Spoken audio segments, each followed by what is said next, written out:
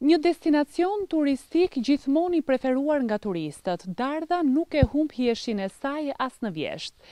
Një terren i jashtëzakonshëm malor, me pemët shumëngjyrëshe dhe atmosfera e mrekullueshme që shoqëron këtë fshat nga mikpritja e dardharëve, ofrojnë një atraksion vjeshtak tepër të preferuar për turistët, por edhe të apasionuarit e sporteve dhe natyrës.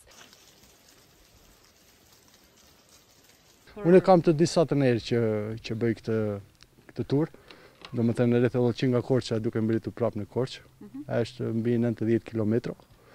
Mund të them që jam ndër të parët që e kam përshkruar me biçikletë, mbase dukej e, pa, e parealizueshme më përpara, njerëzit qarkullojnë më lehtë me mjete motorike edhe me biçikletë.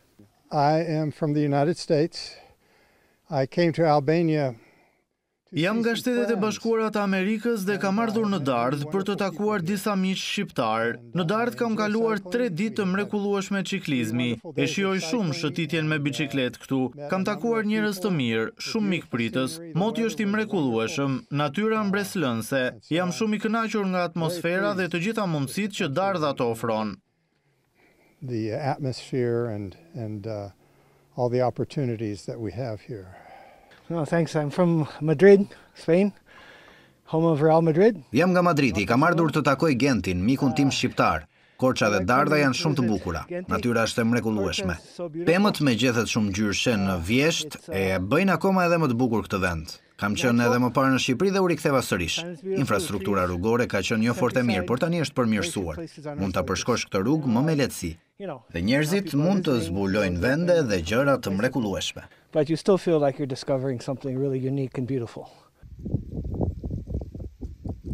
Të udhëtosh drejt Dardhës duhen vetëm njëzet kilometra nga Korça dhe në mbi një mijë e treqind e pesëdhjetë metra lartësi Arrin të shohësh këtë mrekulli që të fal vjeshta me ngjyrat që frymëzojnë edhe artistët. Po Dardha ka një lloj veçantie që ne të paktën që jemi pjesë të të qarkut na krijon një, një lloj gjendje emocionale jashtëzakonisht të madhe. Vjeshta ashtu siç vjen me bollëk në prodhimet bujqësore, ashtu vjen edhe në kolore në ngjyra. Çdo fotograf mendoj unë që Dardhën do ta, do ta kishte qejf për ta fotografuar sidomos në vjeshtë. Dy stinët më të mira për mua janë vjeshta dhe dimri.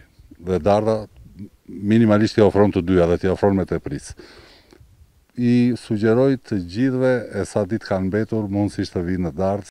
Tryeza dardhare ofron një larmishmëri gatimesh tradicionale, përgatitur nga amvisat e zonës. Një prej tyre na tregon disa nga pjatat që kërkohen dhe pëlqehen më shumë, si dhe sekretin përse Dardha është gjithnjë në fokus të vizitorëve. Vjeshta ka llojshmëri pemësh dhe fletët e pemëve kanë ngjyra të ndryshme dhe duket një peisazh shumë i bukur i Dardhës. Edhe kur çelin kumllat, ata kënaqen shumë, sepse Dardha vishet me të bardha si nuse.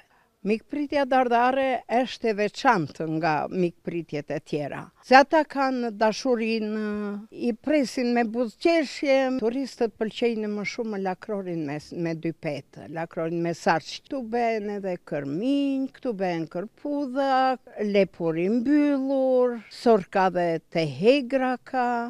Përveç ngjyrave dhe klimës, gatimet tradicionale, bukuritë e tjera të fshatit dhe mikpritja dardhare e bëjnë këtë vend ndër më të vizituarat në çdo stinë të vitit, tashmë jo vetëm nga turistët vendas, por edhe të huaj.